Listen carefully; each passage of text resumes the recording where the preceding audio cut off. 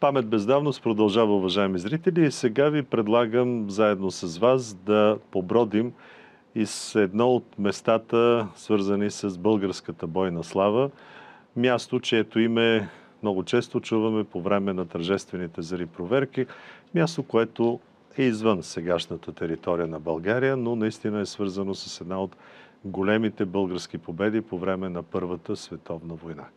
Това място е румънското село, българското му име, по-скоро с турски происход, Кобадин, румънското Кобадин, твърде близо до днешната българо-румънска граница в Северна Добруджа.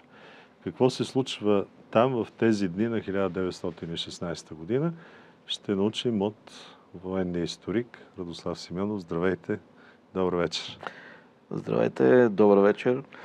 Аз... Защо, да, защо е толкова важен Кобадин, имайки предвид, че септември 16 година, началото, имахме вече и предаване на тази тема, Тутраканската епопея.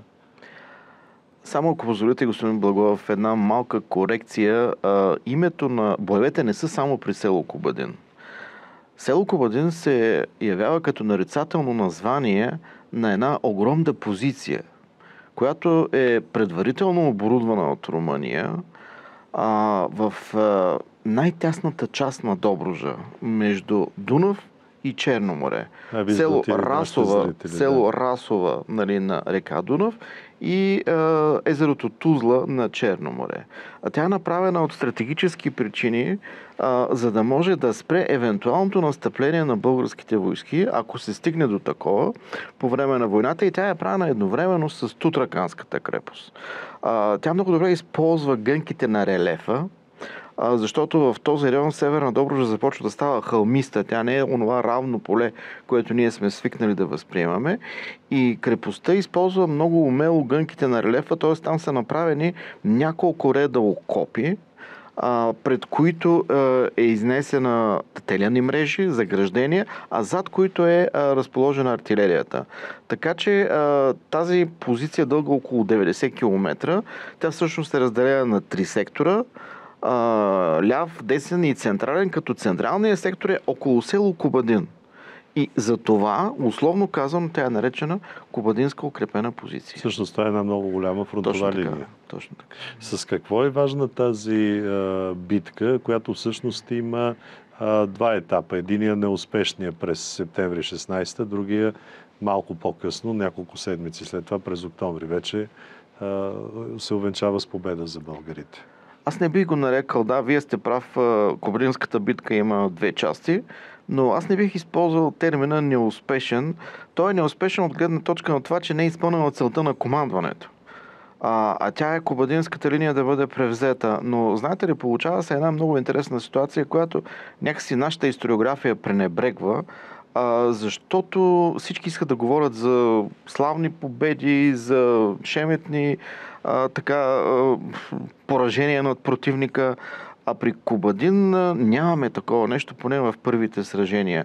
Защото оказва се, че на фона на това, което нашата армия постига само за 10 дни, в първите няколко дни на войната в Добружа, имам предвид блестящото овладяване на Тутраканската крепост, катастрофата, която румънците претърпяват при Добрич.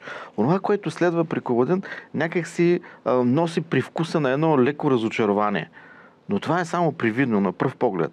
А, когато човек а, а, започне да навлиза в детайлите, той трябва да стигне до извода, че всъщност първата битка при Кобадин а, е също а, низ от а, героизъм и славни прояви на българската армия. Но поради обективни обстоятелства те не се увенчават с успех. Какво имам в предвид? Имам в предвид, че атаката на Кобадин, тя е на 18 и 19 септември, първата, която ние нарекохме, нали, условно казано, неуспешна и тя така се води, разбира се, и в българската историография. Причината за това е, че а, нашето командване достига до подстъпите към Кобадин още на 16 септември. Но под натиска на Макензен, фелдмаршал фон Макензен, който е върховен главнокомандващ на войските на Балканите, а, нашето командване е да принудено... припомним, че сме съюзници с Германия. Точно така. Не само с Германия, с Турция, с Австро-Унгария и в Кубадин, битките при Кубадин ще се появят турски и немски войски. Но това ще бъде на по-късен етап. А, на първият, по време на първата атака има съвсем малко турски и немски войски. Тоест, първата атака е изцяло направена от, осъществена от наши дивизии, но какво имах предвид? Имах предвид факта, че Макензен е изключително много бърза. Той смята, че противника е разколебан след нанесените поражения и сега е момента да му бъде нанесен разгромяващ удар, с което българските войски, пробивайки Кобадин, да могат да напреднат и към вътрешността на Румъния. Но се оказва, че а, ние без да проведем разузнаване, без да знаем какво се случва, а това е, че румънците получават свежи подкрепления от Трансилвания. Тоест, Румъния преценява, че след това, което се случва на Доброжанския фронт, тя трябва да спаси а, столицата си и подстъпите към нея, прехвърляйки своите войски от а, Трансилвания към Добружа. Кажи речи, през цяла Румъния. А, да, румънската армия се оказва на колела по време на тази война. Първоначално тя е в Трансилвания, после се връща в Добружа и така нататък. Освен това има и още едно друго обстоятелство, че за главнокомандващ на румънските войски, някъде около 14-15 септември е назначен не кой да е, а генерал генерал Авереско, който а, така идва с, а, как да кажа, заявката на спасител, с ореола на спасител и към него румънското общество изпитва голямо доверие, че всъщност а, с неговата личност ще настъпи дългоочаквания обрат в хода на войната. Така че румънците имат психологическо предимство. А, освен това, а, има и още едно нещо, което не бива да го изключваме. С получените подкрепления, оказва се, че противникът има повече войски, отколкото ние, с които атакуваме Кубадин. И това е, много точно се вижда от заповедта, която командващия Трета армия, е, генерал Стефан Тошев, отдава за атаката, първата атака на позицията, условно наречена Кубадинска. Нека да я чуем и ще продължим.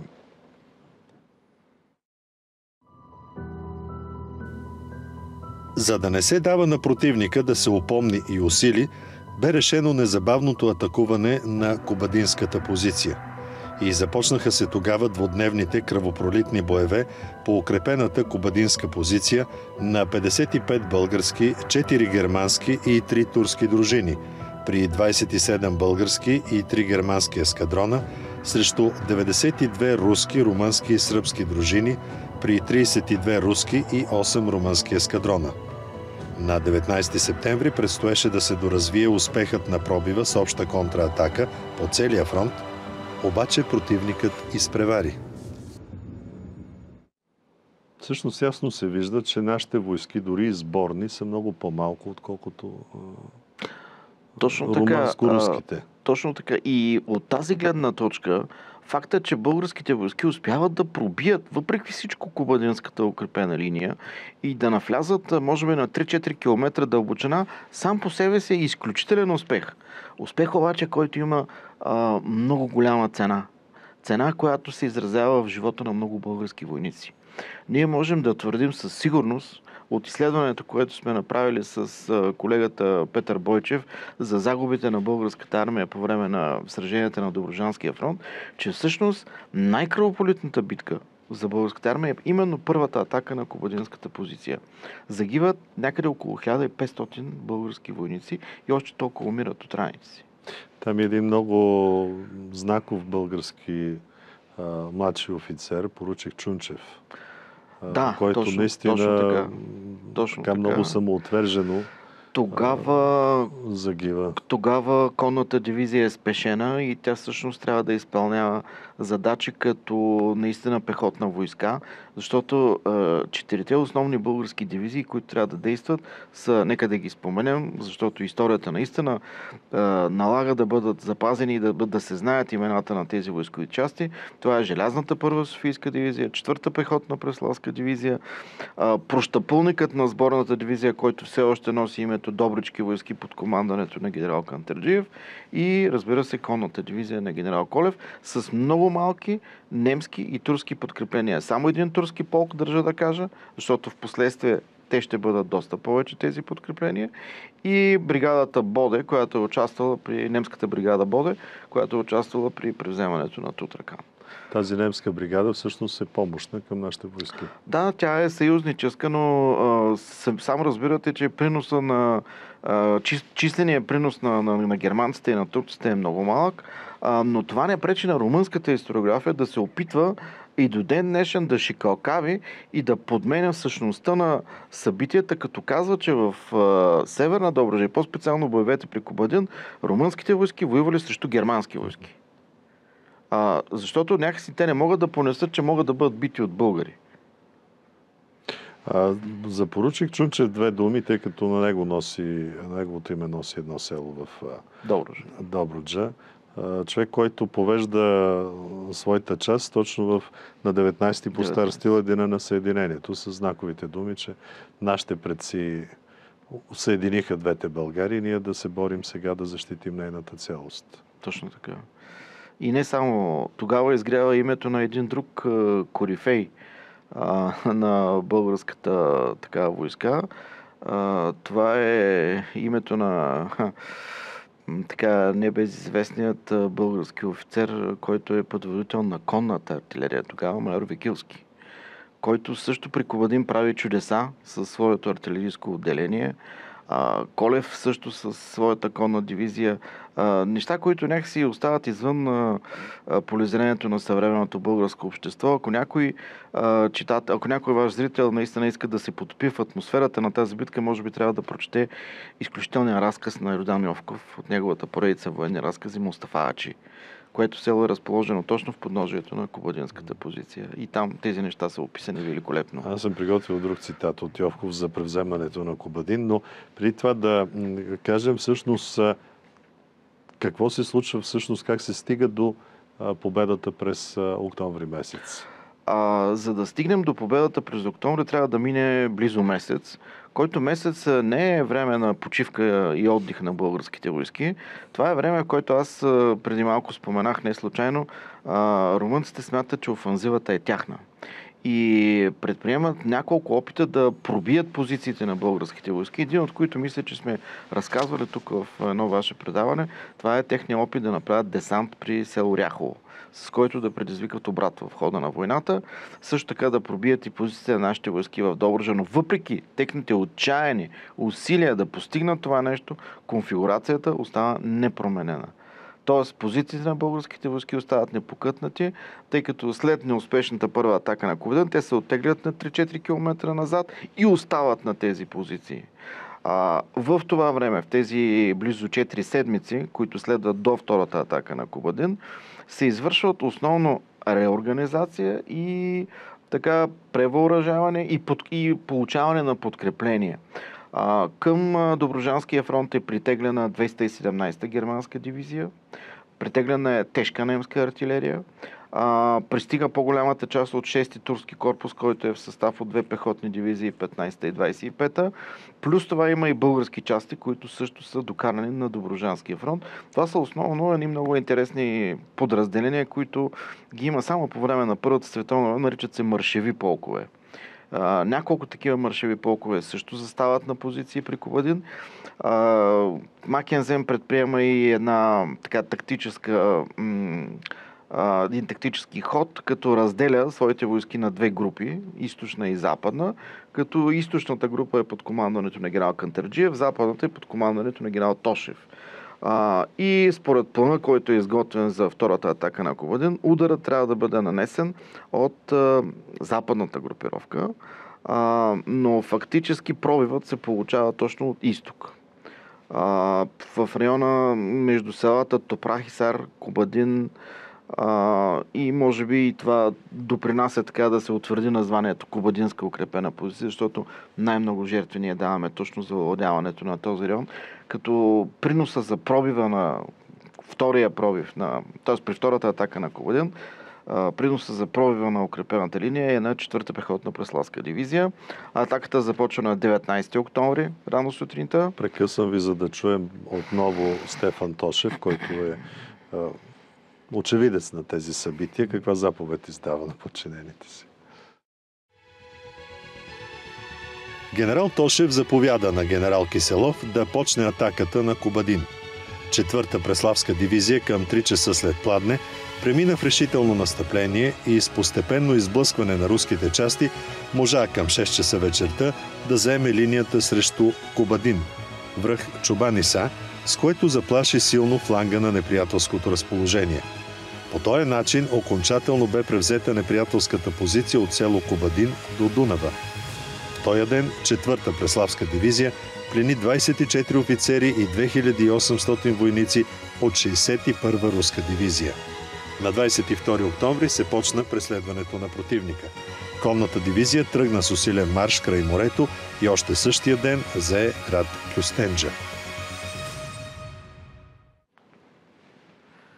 Де-факто месец по-късно, след първия опит да се овладее позицията, идва тази победа.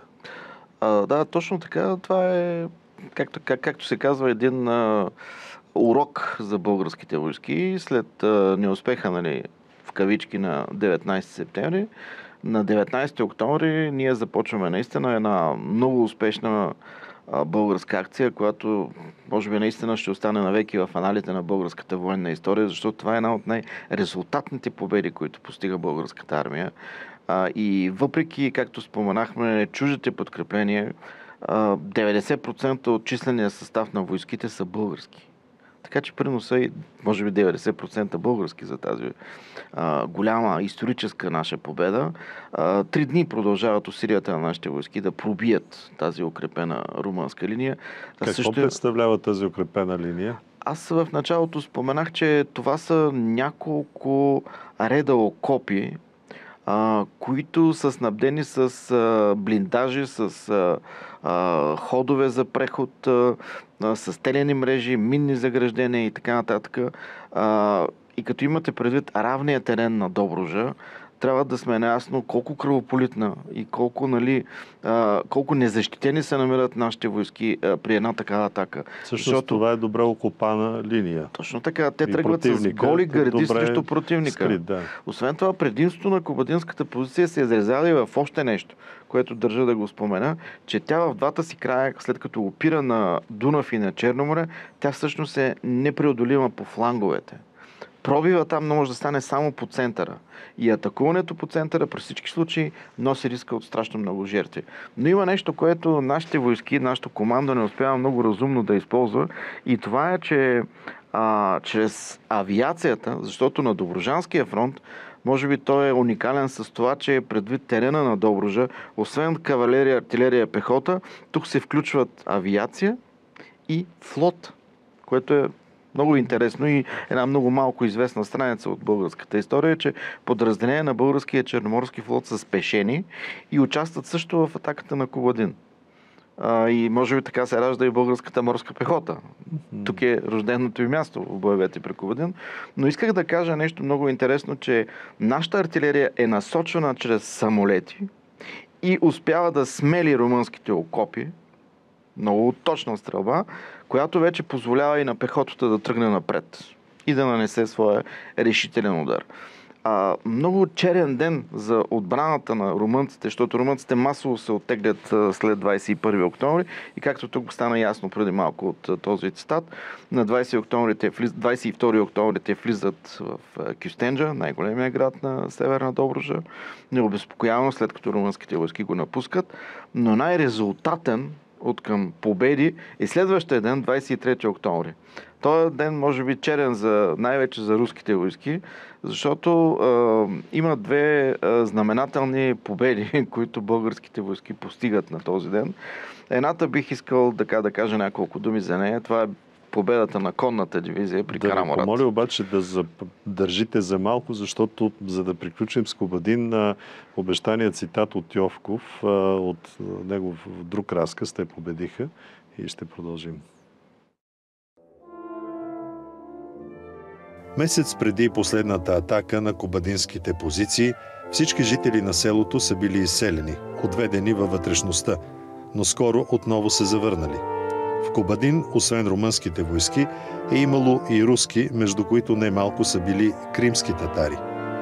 Румъните разказвали, че кобадинските позиции са непревземаеми. Но внезапно започва атаката. Страшна буря се подигнала на запад. През нощта селото се изпълнило с войски, обози и артилерия. Всички бързали назад. Сутринта боят се започнал наблизо и гранати и куршуми падали в самото село. Изведнъж отихнало всичко. Старецът излязъл навън, но бързо се обърнал да се прибере. В двора имало войници. Заговорили български, после турски. Те били българи. Седем пътища се събират тука. Седем народа от седем езика и седем вери се срещнаха и се удариха в Кобадин. Голяма и страшна битка беше. Общо взето Йовков, както никой друг Силни думи. може да На го Йовков. опише. Да. Да, да. Никой не може да опише по-добре от Йовков, Самият който той е бил непосредствен на- свидетел и очевидец Да, на това, което на се е случило. А, може би само тук трябва да внесем едно уточнение, че Йовков преекспонира участието на седем държави, защото той теоретично представя участието на австрийски войски, но М. на практика австрийци няма. Австрия е четвъртата съюзническа държава в централните сили, така че битките, държавите, които участват са 6. Но и 6 армии, сблъскане една срещу друга, не са никак малко. А, и знаете ли, господин Благоев, кое е тъжно днес? Че когато човек отиде в Кобадин, може да види в това село всякакви гробища. Германски, турски, руски, румънски. Дори има паметен знак за сръбската дивизия, която участва там, една сърбо-хрватска на дивизия. страната има на румънците. на страната на румънците, естествено, но няма български военни гробища. Е, че е вината. Няма запазени. Ами и те са били унищожени още веднага след края на Първата световна война. А, всичко българско е било изринато. Разбира се, под различни предлози, защото България е победена държава и тя не може да отстоява своите интереси. На Германия също е което- победена, но явно... а, явно респект Сила, от респект, германците, да. да, все пак принуждава румънците. румънците да се съобразят, все пак Германия е велика сила. А, но така или иначе е единственото място, където ние днес можем да намерим тленни останки на български войници, участвали в боевете при Кобадин. Мемориала в Добрич. Не, това е едно... В Добрич също има погребани войници, които са били ранени при Кобадин, но говоря за загиналите при атаката на Кобадин. Това е едно а, селце, направено много... А, едно селце, което така произволно, според мен, е избрано на картата от румънските власти. Намира се до град Черна вода. А, нарича се село Мирче вода и там те изграждат едно интернационално военно гробище, в което има български сектор и там са погребани много български войници, около 500 души.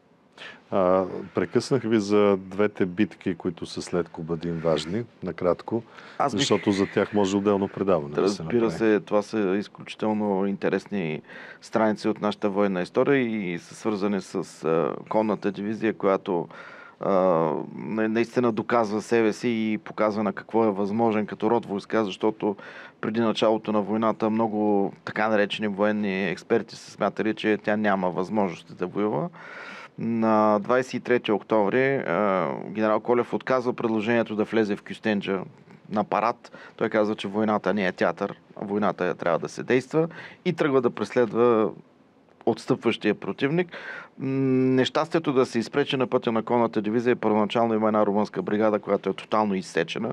Следват още няколко румънски бригади, които Колев разпръсква и попада на една оттегляща се руска бригада Фримо, така е известна, при което след една много ловка маневра той успява да плени цялата 265-та руска Оренбургска дивизия, заедно с, а, дружина, заедно с а, нейното полково знаме. Колко стотин души? А, около 900 души. Като днес а, Много тази реликва а, се съхранява в Националния военно-исторически музей и честа да пленят руското бойно знаме принадлежи на кавалистите от втори ломски полк, втори конен ломски полк. Хубаво е това знаме често да бъде изнасяно на някои паради. Много ви благодаря за този разговор. Както винаги, интересни и неочаквани факти от нашата военна а, история. Така че ще се радвам а, да направим едно следващо предаване за победите на българската конница в Добрич, както и разбира се, още по-малко известното наше участие в превземането на Букурещ, румънската столица през Първата световна война. С това днешната ни среща завърши, уважаеми зрители. Ще се видим отново идната събота, както обикновено 7 вечерта по телевизия Евроком. Разбира се, YouTube канала на предаването, както и сайта на телевизия Евроком са на ваше разположение за всичко това, което ви интересува. Искате отново да видите от предаването Памет без давност. Пожелавам ви приятни минути с програмата на нашата телевизия.